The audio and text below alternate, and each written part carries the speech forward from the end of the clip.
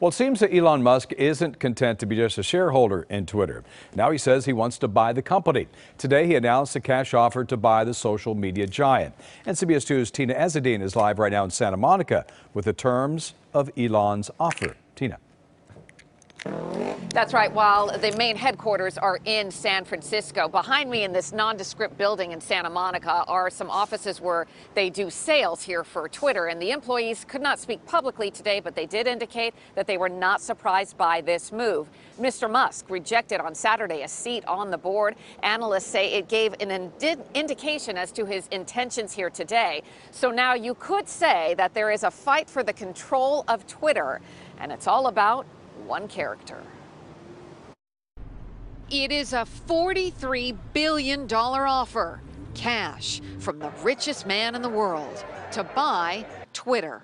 A few hours later, Elon Musk spoke at a TED Talk in Vancouver. It's just really important that people have the both the uh, the reality and the perception uh, that they are able to speak freely within the bounds of the law. The Tesla CEO saying the social media company needs to be taken private to ensure that it is a platform for free speech. Anyone's opinion that goes against, uh, I don't know, the politicians' norms gets blocked, gets censored.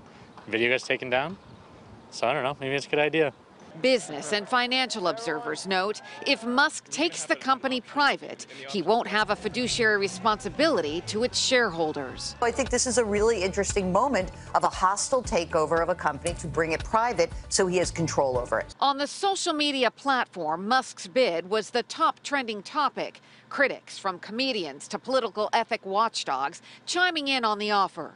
As one of Twitter's largest shareholders, Saudi billionaire Al Walid bin Talal stating, quote, I reject this offer.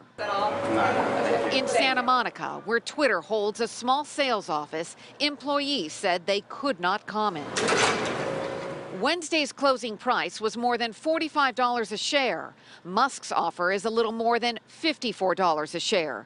A compelling one for shareholders to get out from the stock that has been underperforming. It might increase the bid to kind of, you know, entice the shareholders to, you know, to, uh, you know, to, to, to, to take the bid. And who knows, they might. From a billionaire who once said owning Twitter would be misery. Despite today's news, investors were not immediately convinced. Uh, stocks fell 2% in afternoon trading. As for his part, Mr. Musk said on Twitter today, quote, this is my final and best offer. Live in Santa Monica, I'm Tena Ezzeddine, CBS 2 News. All right, Tena, thank you.